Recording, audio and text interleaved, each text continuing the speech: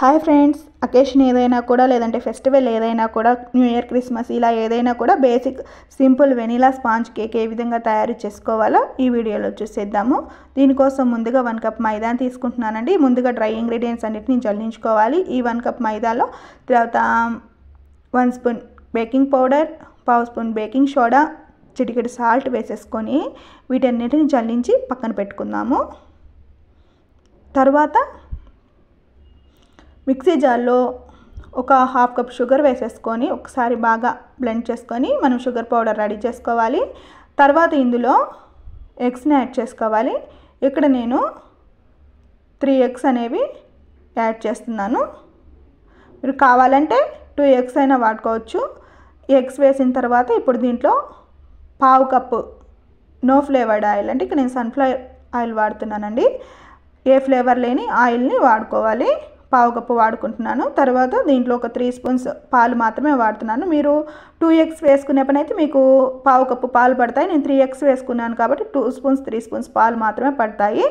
ఇక దీనన్నింటినీ ఒకసారి బ్లెండ్ చేసేసుకొని ఒక త్రీ మినిట్స్ పాటు పల్స్ ఇచ్చుకుంటూ బ్లెండ్ చేసుకొని తర్వాత కొంచెం వెనీలా వెసెన్స్ వేసేసుకొని ఒక టూ మినిట్స్ ఇంకొకసారి బాగా పల్స్ ఇచ్చుకుంటూ బ్లెండ్ చేసుకోవాలి. ఆల్రెడీ ఈ విధంగా జల్లించి పెట్టుకున్న ఈ మైదాలో మనం రెడీ చేసుకున్న ఈ బ్యాటర్ని కూడా వేసేసుకొని ఒకే డైరెక్షన్లో మనం ఈ విధంగా ఎక్కడ ఉండలు లేకుండా బాగా కలుపుకోవాలి మిక్స్ చేసుకోవాలి. ఈ విధంగా చూడండి కరెక్ట్గా మనం ఒకే డైరెక్షన్లో ఈ విధంగా మనం బాగా మిక్స్ చేసుకోవాలండి. ఈ విధంగా మనకి కరెక్ట్గా రెడీ అయిపోతుంది. ఇప్పుడు ఈ విధంగా మిక్స్ చేసుకున్న తర్వాత మనం ప్రీ హీట్ కోసం ఒక మందపాటి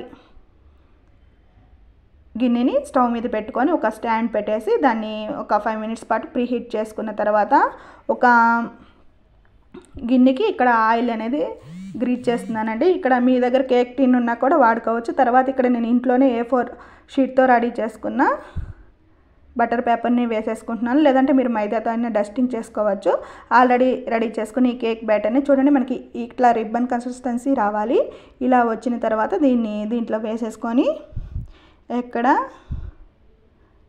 గ్యాప్స్ అనేవి లేకుండా మనం ఒకసారి గిన్నెని అనేది ట్యాప్ చేసుకోవాలి.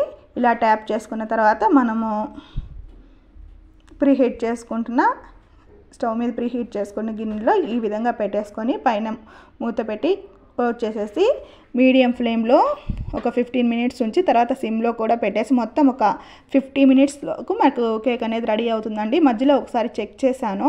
ఇంకొంచెం మనకి ఉడకాలి. ఇంకొక ఫిఫ్టీన్ మినిట్స్ మళ్ళీ ఉంచాను. ఇప్పుడు మాత్రం ఎక్కడ టూత్పిక్తో ఇట్లా చూసినప్పుడు మనకి ఎక్కడ అంటుకోలేదు. మన కేక్ అనేది రెడీ అయిపోయింది. ఇప్పుడు ఇక దీన్ని బయటకు తీసేసి చల్లారనివ్వాలి. దాదాపు ఒక ఫిఫ్టీ మినిట్స్ అయితే నాకు పట్టింది. మీడియం టు సిమ్లో పెట్టుకొని నేను దీన్ని బేక్ చేసుకున్నాను. తర్వాత ఎడ్జెస్ని ఇలా లూజ్ చేసేసుకొని మనం ప్లేట్లకి ఈ విధంగా ట్యాప్ చేసేసుకుంటే మనకి కేక్ అనేది రెడీ అయిపోయింది చూడండి. మనకి ఎంతో టేస్టీగా ఉండే బేసిక్ వెనీలా స్పాంజ్ కేక్ అనేది రెడీ అయిపోతుంది. చేయడం కూడా చాలా సింపుల్గా చేయొచ్చండి. చూడండి మనకి చాలా